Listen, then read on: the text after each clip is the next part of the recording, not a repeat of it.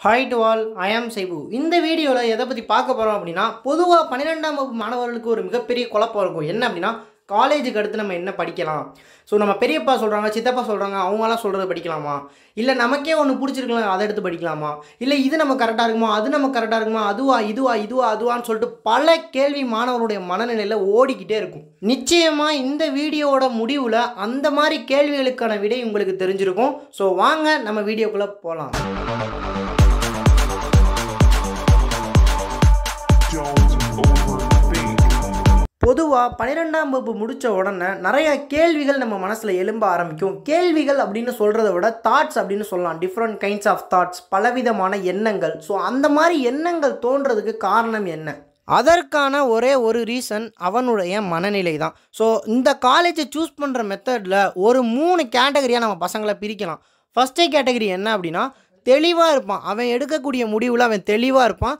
Second category என்ன அப்படின்னா ஆட்டு மந்தை கூட்டம் தான் அவன். என்ன அப்படின்னா என் ஃப்ரெண்டு அதை எடுக்கிறேன் நானும் போய் அதை எடுக்கிறேன். இப்போ ஒரு ஆடு முன்னாடி போனால் தொடர்ந்து பத்தாடு பின்னாடியே போகுன்னு சொல்லுவாங்களா? அது மாதிரி அவன் அந்த முடிவு எடுக்கிறான். ஸோ நானும் அவனை பார்த்து எடுக்க போகிறேன் ஸோ இந்த இவன் எங்கள் வீட்டுக்கு எதிர்த்தாப்பில் உள்ளவன் அவன் போய் அந்த காலேஜில் அந்த கோர்ஸ் எடுக்க போகிறான் ஸோ அது நானும் அந்த காலேஜில் போய் அந்த கோர்ஸ் எடுக்க போகிறேன் அப்படின்னு சொல்கிற ஆட்டு மந்தை கூட்டம். மூன்றாவது கேட்டகரினா எதுக்கு வாழ்கிறோன்னு எனக்கு தெரிலங்க நான்லாம் சும்மா இந்த பன்னெண்டா வரைக்கும் எங்கள் அம்மா சேர்த்துட்டா நான் படிக்கிறேன் எங்கள் அப்பா சேர்த்துட்டா நான் படிக்கிறேன். இதே மாதிரி காலேஜ்லேயும் கொண்டு போய் எங்கேயா சேர்ப்பாங்க நான் அங்கே போய் படிக்க போகிறேன் அப்படின்னு சொல்கிறவங்க தான் தேர்ட் கேட்டகரி இந்த மூணு கேட்டகரி தான் தமிழ்நாடுல இந்தியாவில் உலக அளவில் உள்ள மொத்த பசங்களுமே காலேஜை சூஸ் பண்ணக்கூடிய கேட்டகரியாக இருக்குது ஸோ தொண்ணூத்தொம்பது பர்சன்டேஜ் இவங்க தான் இருக்காங்க. அப்போ மீதி ஒரு பர்சன்டேஜ் யார் அப்படின்னா சின்ன பிள்ளையிலேருந்தே ஒரே ட்ராக்ல ஓடக்கூடிய அதாவது தெளிவான ட்ராக்ல கரெக்டான ட்ராக்ல சின்ன வயசுலேருந்தே ஓடுவாங்க.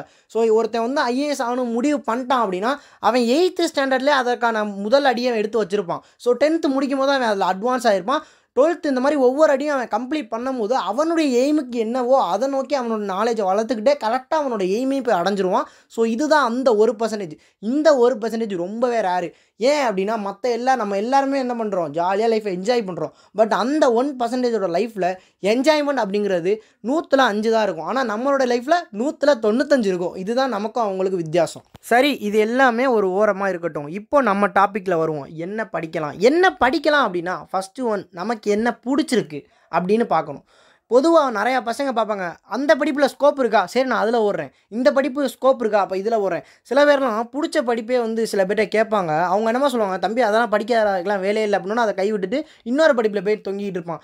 ஸோ இந்த மாதிரியான நிலவரங்கள் நிறையாவே இருக்குது நம்ம நிறையவே டெய்லி லைஃப்பில் பார்த்துக்கிட்டே இருக்கோம். உங்களுக்கு முதல்ல நான் சொல்கிற விஷயம் என்ன அப்படின்னா எந்த படிப்பில் ஸ்கோப் இருக்குது எந்த படிப்பில் வந்து அதிகமாக சம்பளம் கிடைக்கும் எந்த படிப்பு நல்லா இருக்குது அப்படின்னு நீங்கள் தேடுறதை விட்டுட்டு உங்களுக்கு எந்த துறையில் திறமை இருக்குது உங்களுக்கு எந்த துறையில் ஆர்வம் இருக்குது உங்களுக்கு எதில் தனித்திறமை இருக்குது அப்படின்னு தெரிஞ்சு அந்த துறையில் நீங்கள் ஓட ஆரம்பிச்சிங்கன்னா நிச்சயமாக கட்டாயம் ஒரு நாள் நீங்கள் உங்கள் லைஃப்பில் பெரிய வருவீங்க அப்படிங்கிறத நான் இங்கே பதிவு பண்ணுறேன் இதுதான் வந்து பேசிக்கான ஒரு கோடு அதாவது லாஜிக்கான கோடு நமக்கு எது பிடிச்சிருக்கோ நமக்கு எதில் திறமை இருக்கோ நமக்கு எதில் இன்ட்ரெஸ்ட் இருக்கோ அந்த கோட்டை எடுத்து ஓடணும்.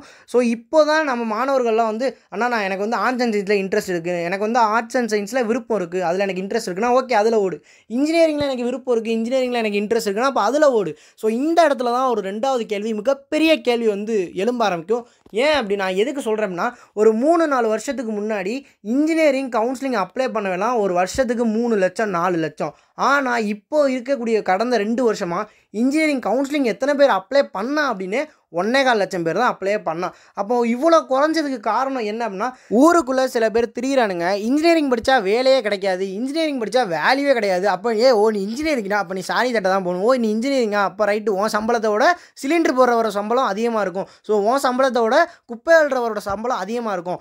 அப்படின்னு சொல்லி நம்ம எல்லாரையும் தட்டி தட்டி உட்கார வைக்கிற இந்த காலம். ஸோ அதனால தான் ஆனால் அதையும் மீறி ஒரு வருஷத்துக்கு ஒன்னே கால் லட்சம் பேர் இன்ஜினியரை நோக்கி ஓடிக்கிட்டு இருக்கான் எதனால் அப்படின்னா ஒரு ஒரு விஷயத்தை நல்லா புரிஞ்சுக்கோங்க.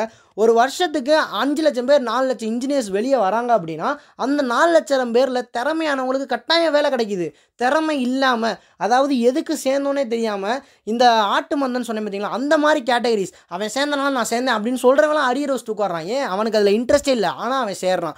அந்த மாதிரி தனக்கு பிடிக்காத ஒன்றை செய்யும்போது அவனால் அடுத்த கட்டத்துக்கு போக முடியல. ஸோ நாம் நமக்கு எதில் இன்ட்ரெஸ்ட் இருக்குது நமக்கு எதில் திறமை இருக்குன்னு முடிவு பண்ணுறோம் அந்த திறமை அடிப்படையில் இன்ஜினியரிங் தான் அப்படின்னு முடிவு ஆயிடுச்சுன்னா நம்ம கட்டாயம் இன்ஜினியரிங்கில் ஓடலாம். ஏன் அப்படின்னா உனக்கு திறமை இருக்குது அப்படின்னு தெரிஞ்சதுக்கப்புறம் உனக்கு அதில் ஆர்வம் இருக்குதுன்னு தெரிஞ்சதுக்கப்புறம் ஆட்டோமேட்டிக்காக நீ அந்த துறையில் பெரிய ஆளாக வர ஆரம்பிச்சிருவ.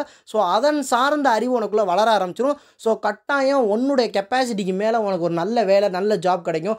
ஸோ நிச்சயமாக அந்த வெளியே வர நாலு லட்சம் பேர் நான் சொன்னேன் இல்லை முன்னாடியே. ஸோ அந்த நாலு லட்சம் பேரில் ஒரு லட்சத்துக்கும் மேலே வேலை கொடுத்துருக்கானே. ஏன் அப்போ அவன்லாம் என்ன முட்டா போயிலாம் ஸோ அந்த இன்ஜினியர்ஸ்லாம் என்ன வேஸ்ட் ஆகலவங்களா கிடையாது. அந்த இன்ஜினியர்ஸ்லாம் திறமையான இன்ஜினியர்ஸ் அந்த இன்ஜினியர்ஸ்லாம் தான் பிடிச்ச படிப்பை பிடிச்சி எடுத்த லெஜண்ட்ஸ் ஸோ அதனால தான் அவங்களால ஓட முடியுது. ஸோ அதே ரீசனை தான் அதே மெயின் காரணத்தை நான் தான் இங்கே சொல்கிறேன் உங்களுக்கு எந்த படிப்பு பிடிச்சிருக்கோ உங்களுக்கு எதில் திறமை இருக்கோ அதை சூஸ் பண்ணுங்கள் அது இன்ஜினியரிங்காக இருந்தாலும் சரி ஆர்ட்ஸ் அண்ட் சயின்ஸாக இருந்தாலும் சரி லாவாக இருந்தாலும் சரி எதுவாக இருந்தாலும் சரி. ஸோ உங்களுக்கு எதில் இன்ட்ரெஸ்ட் இருக்கோ அதை நோக்கி ஓடுனீங்கன்னா உங்கள் லைஃப் நல்லாயிருக்கும். ஸோ இந்த வீடியோவோட முடிவுக்கு நம்ம வந்தாச்சு. நான் என்ன கன்வே பண்ணணும்னு நினச்சினோ அதை பண்ணிட்டேன். ஸோ இதுதான் வந்து பேசிக் என்ன அப்படின்னா அவன் சொல்கிறான் இவன் சொல்கிறான் அவங்க சொல்கிறாங்க இவங்க சொல்கிறாங்க அப்படிங்கிறதெல்லாம் தள்ளி வச்சுட்டு உனக்கு எந்த துறையில் திறமை இருக்கோ அந்த திறமையான துறையில் என்ன படிப்பு? இப்போ வந்து டெக்னாலஜி மூலியமாக அட்வான்ஸ்டு படிப்பெல்லாம் நிறையா இருக்குது எக்கச்சக்கமாக இருக்குது அந்த காலத்துலலாம் இன்ஜினியரிங் படிக்கணும்னா நாலு படிப்பு தான் இருக்கும். Civil mech EC triple E இந்த மாதிரி தான் இருக்கும்.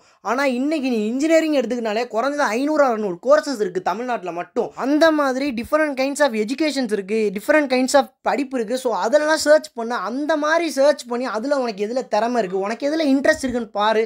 அது சார்ந்த படிப்பாக நீ ஓடு. நான் மறுபடி மறுபடி சொல்கிறேன் உனக்கு இன்ட்ரெஸ்ட் இருக்கிற படிப்பு ஆர்ட்ஸ் அண்ட் சயின்ஸாக இருந்தாலும் ஓகே இன்ஜினியரிங்காக இருந்தாலும் ஓகே லாவாக இருந்தாலும் ஓகே எனியாக இருந்தாலும் ஓகே நீ உனக்கு எதில் இன்ட்ரெஸ்ட் இருக்கோ அதை நோக்கி ஓடு.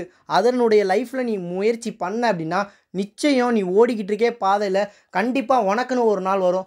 அந்த நாளில் நீ பத்து பதினஞ்சு பேருக்கு சம்பளம் கொடுக்கக்கூடியவனா ஒரு நல்ல ஒரு உயர்ந்த ஒரு மனிதனாக நீ நிற்ப அப்படிங்கிறதுல எந்த ஒரு மாற்றமும் இல்லை. ஸோ மறுபடி மறுபடியும் நான் சொல்கிறது ஒன்றே ஒன்று தான் உனக்கு எது பிடிச்சிருக்கு? உனக்கு எதில் திறமை இருக்குது அதை நோக்கி ஓடு. அது எதுவாக இருந்தாலும் ஓடிக்கிட்டே இரு. லைஃப்பில் நல்லா இருப்பேன் ஸோ ஓகே இந்த மாதிரி இன்ட்ரெஸ்டிங்கான வீடியோஸ் அடுத்து உங்களை தேடி வரணும் அப்படின்னா சப்ஸ்கிரைப் பண்ணிக்கோங்க. இது மட்டும் இல்லாமல் என்னென்ன படிப்புலாம் இருக்குது பயாலஜி என்னென்ன படிப்புலாம் படிக்கலாம்? காமர்ஸ் என்னென்ன படிப்புலாம் படிக்கலாம்? அப்படின்னு நம்ம வி வெகு விரைவில் அடுத்தடுத்த வீடியோ நம்ம சேனலில் வந்துக்கிட்டே இருக்க போது ஸோ அது எல்லாமே உங்களுக்கு யூஸ் ஆகும் நான் நம்புகிறேன் ஸோ சப்ஸ்கிரைப் பண்ணுங்கள் அப்படியே பக்கத்தில் இருக்க பெல்லைக்கனை கிளிக் பண்ணுங்கள் பெல்லைக்கனை கிளிக் பண்ண மறந்துட்டீங்க அப்படின்னா நான் போடுற வீடியோ உங்களுக்கு தெரியாமலே போயிடும் ஸோ தயவு செஞ்சு பெல்லைக்கனை கிளிக் பண்ணிக்கோங்க. அப்போ தான் நான் போடுற வீடியோ உங்களை தேடி வரும். ஐ ஆம் செய்பு நெக்ஸ்ட் இன்ட்ரெஸ்டிங்கான வீடியோட நான் வரேன். பாய்